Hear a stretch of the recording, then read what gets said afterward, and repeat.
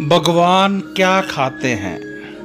आज हम बात करेंगे, प्रभु भगवान क्या खाते हैं? मैं ब्रिजमोहन सूरी स्वागत कर रहा हूँ आपका, आपके इस चैनल में।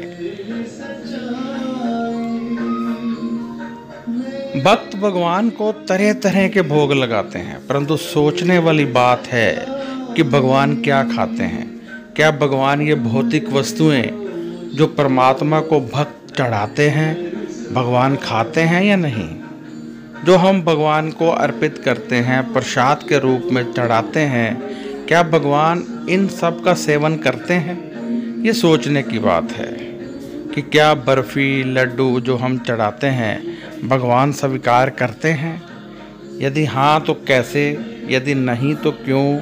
और भक्त क्या खाते हैं? यानी भगवान क्या खाते हैं? भक्त जो खिलाते हैं, कैसे खिलाते हैं?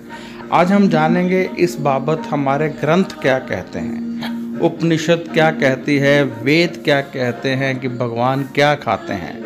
हमको ऐसा क्या चढ़ाना चाहिए जो भगवान खाएँ? सवाल ये है कि क्या भक्त चढ़ाएँ जो भगवान प्रेम से खाएँ? तो आइए जानते हैं कि भगवान क्या खाते हैं। भगवान आपकी सदा भक्ति खाते हैं। यानी भगवान आपकी श्रद्धा और भक्ति खाते हैं। भगवान भूखे हैं आपके प्रेम के। आपने लड्डू, मेवा चढ़ाया, इससे परमात्मा को कोई मतलब नहीं है। उसके साथ कितनी श्रद्धा, भक्ति चढ़ाई, वहीं भगवान के काम आती है। यानी आपके दिल में कितनी श्रद्धा है, कितना भाव है। भगवान का सेवन तो वहीं है। भगवान को लड्डू, मेवा इनसे कुछ लेना देना नहीं है। आप परमात्मा को चाहे कोई भी भौतिक वस्तु मत चढ़ाएँ।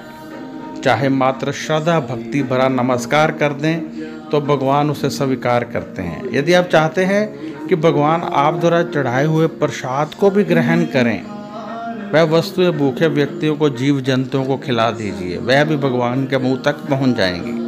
मेरा कहने का मतलब है कि यदि आप चाहते हैं कि जो लड्डू, मेवा आप भगवान को चढ़ाते हैं, भगवान उसे स्वीकार करें तो आप उन वस्तुओं को, गरीब व्यक्तियों को खिलाइए जो भूखे हैं जीव जंतुओं को खिलाइए। क्योंकि भगवान कहते हैं, जब जीव जंतुओं के मुँह में ऐसे ग्रास जाते हैं तो समझ लेना चाहिए, वह मेरे मुँह में आते हैं। जब आप किसी भूखे व्यक्ति को खाना खिलाते हैं, जब आप किसी जीव जंतु को खाना खिलाते हैं उनको चीनी आटा डालते हैं तो वह सीधा परमात्मा के मुँह तक जाती है। परमात्मा को तो भाव चाहिए, और आपका ये भाव कि मैं इस भूखे व्यक्ति को खिलाऊँगा, ये परमात्मा के मुँह तक पहुंचेगी, ये भाव परमात्मा तक पहुँच जाता है। तो इसलिए आपको प्रेम पूर्वक ऐसे पकवान, ऐसा जो भौतिक वस्तुएँ हैं जीव जंतुओं को अर्पित करनी चाहिए, परमात्मा से प्रेम करते हुए।